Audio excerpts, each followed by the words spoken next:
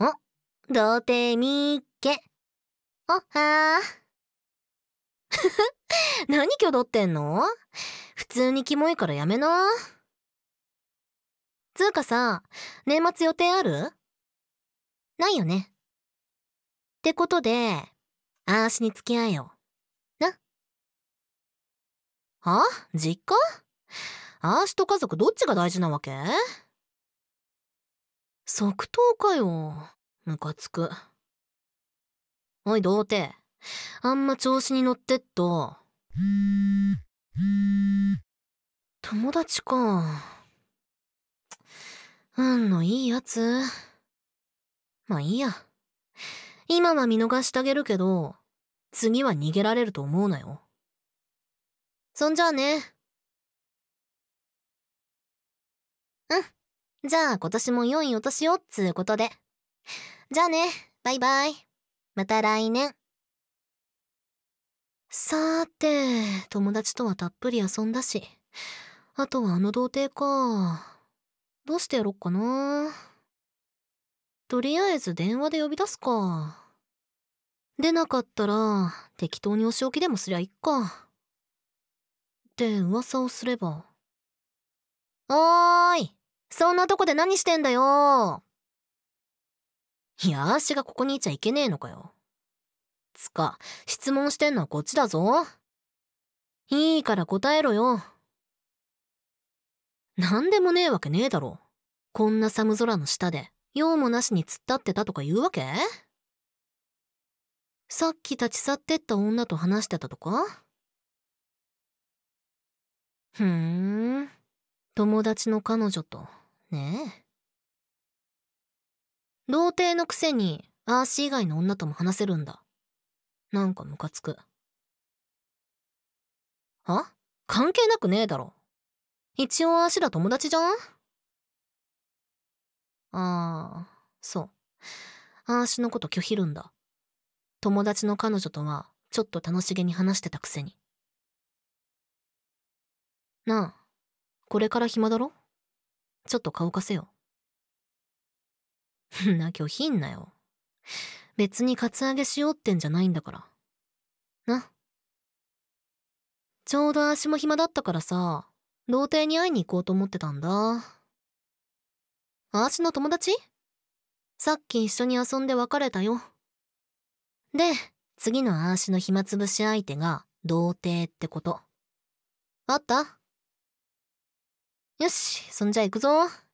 童貞に拒否権ねえから。つべこべ言わずに、あーしに付き合え。おー、結構いい部屋じゃん。まあ、あーしが選んだホテルなんだから当然なんだけどね。は何？文句あんの？それとも何？ラブホに童貞連れてきたことがそんなに不思議？はぁ、つうかさ、いい加減察しろよ。ラブホに来たらやることとか、一つしかねえだろ。そう。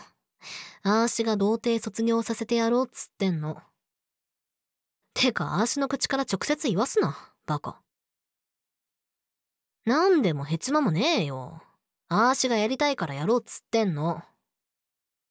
あー、そのなんで俺なんか取って顔ムカつく。顔面へこませてやろうか。いいか？一回しか言わねえから耳暖房にして聞けよ。童貞、お前、今日からあーしの正式な所有物だから。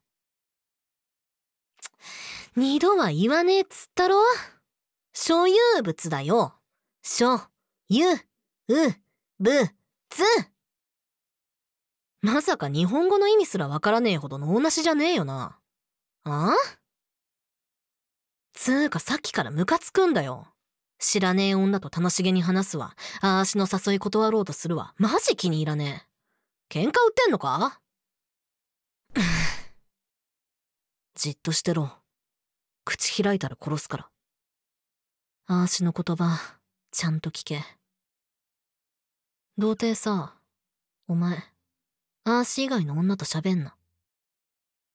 だってお前、あーしの所有物だから。他の女と仲良くするとか、ありえねえから。だいいコミュ障陰キャのくせに、アーシ以外の女とおしゃべりなんざ100年早いんだよ。身の程わきまえろ、クソが。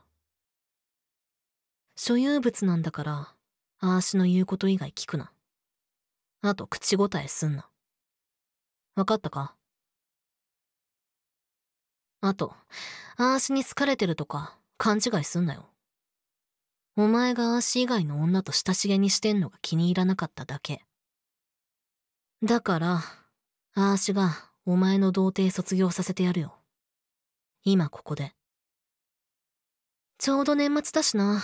年もそろそろ明けるっしょ。年が明けるタイミングで、てめえの童貞幕、ぶち破ってやるよ。うっせえな。処女膜があんなら童貞膜だってあんだろうが。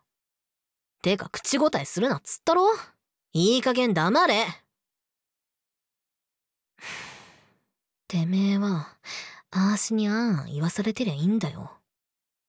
ラブホなんだし、防音は完璧だろあーしの前で気持ちよく泣け。それ以外は認めねえから。ほら、もうすぐ年が明けるから、とっとと服脱いで準備しろ。せえな服脱ぐのもとろいのかよ。いちいちイライラさせんな、クズがよ。ほら、手どけろ。あーしが脱がせてやっから。